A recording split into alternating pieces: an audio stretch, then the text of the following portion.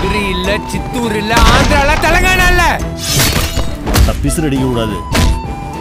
உன்னை தேடி வந்து சரிச்சிட வேண்டாம். வாடா.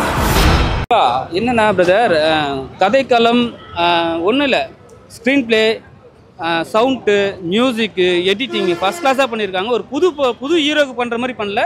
நல்லா ஒரு அப்கமிங் ஹீரோக்கு மாதிரி பண்ணல. நல்ல பெரிய பெரிய ஹீரோக்கு மாதிரி வந்து படத்தை வந்து சூப்பராக எடுத்து வச்சிருக்காங்க. கொஞ்சம் அந்த தேட்டரு அந்த தேட்டரு ஆ தேட்டர் எக்ஸ்பீரியன்ஸ்லாம் பயங்கரமாக இருந்துச்சு. கதையாக கொஞ்சம் லைட்டாக இதுவாக இருந்துச்சுடா கதை.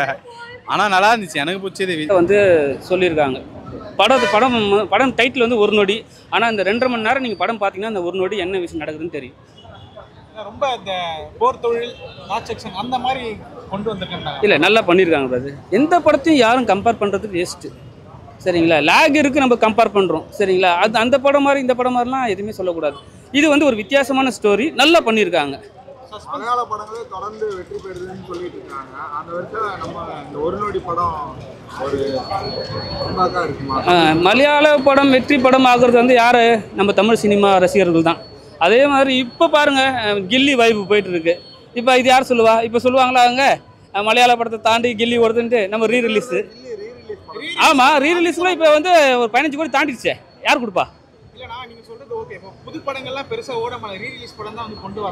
அது இது பண்ணலாம் அது கரெக்டு பண்ணலாம். அது வந்து ப்ரொடியூசர் வந்து தேட்டர் ஓனர்ஸ் கிட்ட கேட்கணும். ஆனால் நல்ல விஷயம் நீங்கள் சொல்கிறது நல்ல விஷயம் தான் ஆனால் வந்து இப்போ வந்து மக்கள் ஆடியன்ஸ் வந்து தேட்டருக்குள்ளே வராங்கல்ல. ஸோ இது ரீலீஸாக இருந்தாலும் மக்கள் தேட்டருக்குள்ளே வர்றதுனால கொஞ்சம் நல்ல விஷயம் தான்